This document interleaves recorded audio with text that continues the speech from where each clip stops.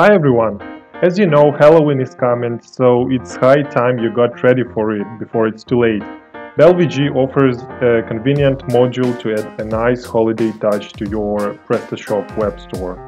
So let's take a quick look at its configuration. It's really simple and won't take too much time.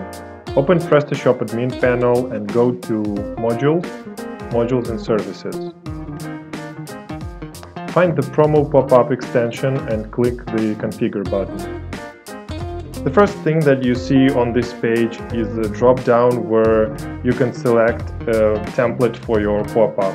There are four different templates, each having three variations for newsletters, coupons and banners.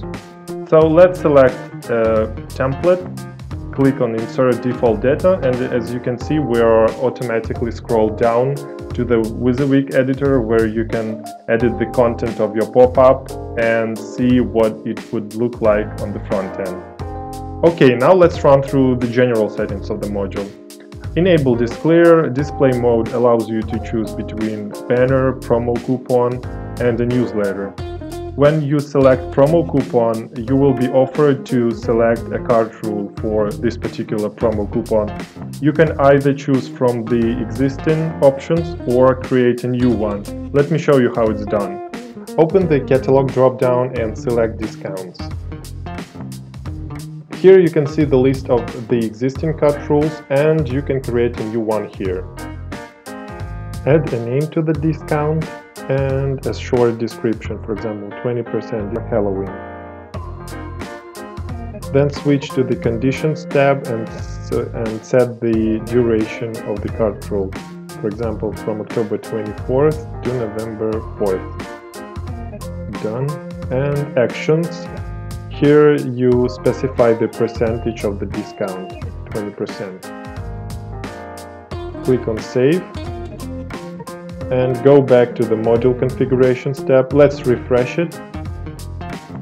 And now you can see that the uh, cart rule that we have just added is on here on the drop down. Okay, let's run through the other general settings of the module. Display area is uh, where your uh, pop-up will be displayed. It's uh, either all pages, home page or checkout page. A trigger mechanism is uh, how exactly your pop-up will be displayed after a delay of a certain number of seconds or a scrolling after a certain number of scrolls. Let it be delay after one second. A number of appearances is clear and uh, prefix of cookie's name. The rule of thumb here is to change it every time you edit the content of your pop-up or just want to reset the count of the appearances. And the last thing here is to manually change the percentage from 15 to 20 uh, because it's not automatically synchronized with the cart rule. Okay, let's save the changes and see what our pop-up will look like on the front end. Refresh the page and there you go. Although it's kind of a small touch, it adds a great amount of holiday spirit to your web store. So thank you all for watching and happy holidays!